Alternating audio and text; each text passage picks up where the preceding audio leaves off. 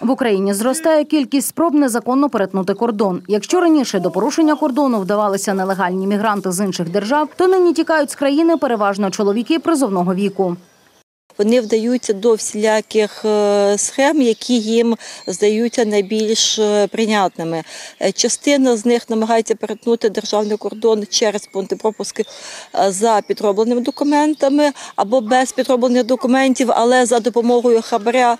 Особи намагалися перетнути державний кордон, використовуючи е, схованки у транспортних засобах, е, як у легкових е, автомобілях, наприклад, там під сидіннями, між сидіннями, в багажних відсіках, так і у автобусах або вантажівках.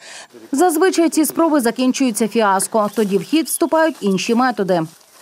Інші вдаються до е, послуг е, переправників, які за грошову винагороду від декількох до 10, 12 аж до 15 тисяч е, доларів або євро погоджуються. Зобов'язуються переправити осіб через кордон, е, часто при цьому обманюючи людей. Е, Тобто особа е, виходить на переправника, переправник часто може залишити такого чоловіка далеко від кордону, показати маршрут, куди йти, або начебто куди йти, і все, він вільний. Чоловік далі йде, і його затримують ще за багато кілометрів від кордону.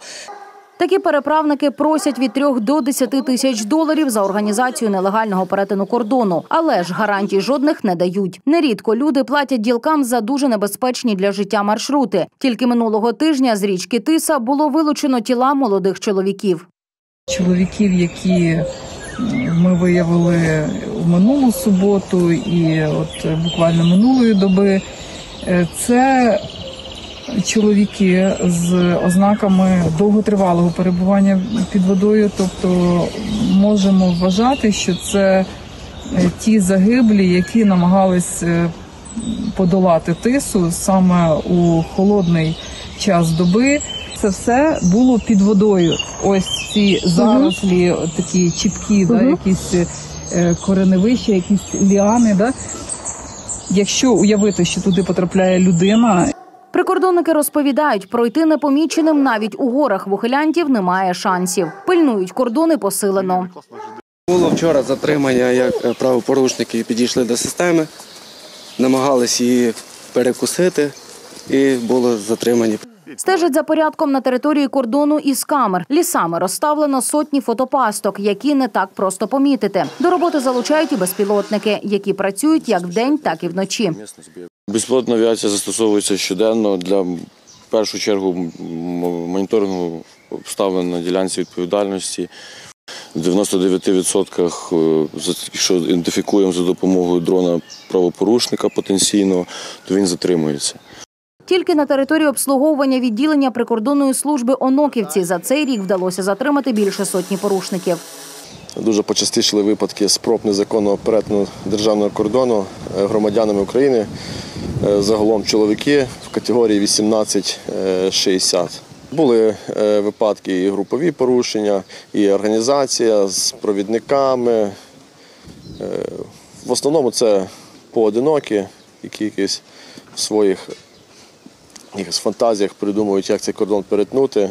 І думаю, що це все реально, але на сьогоднішній день достатня кількість всіх технічних засобів, щоб їх виявляти ще далеко на підступах.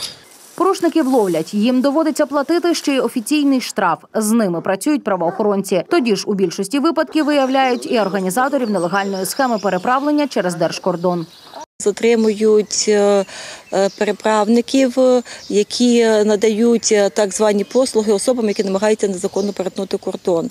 Здебільшого це місцеві жителі Закарпаття, які добре знають ділянку, підходять до кордону та місця, де ем, місцевість більш прохідна.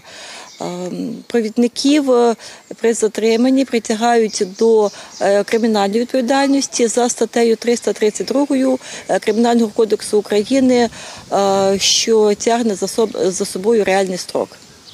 Прикордонники ж наголошують, кордони нині охороняють у посиленому режимі. Так звані переправники частіше всього є банальними аферистами. А шансів незаконно потрапити у Європу майже немає.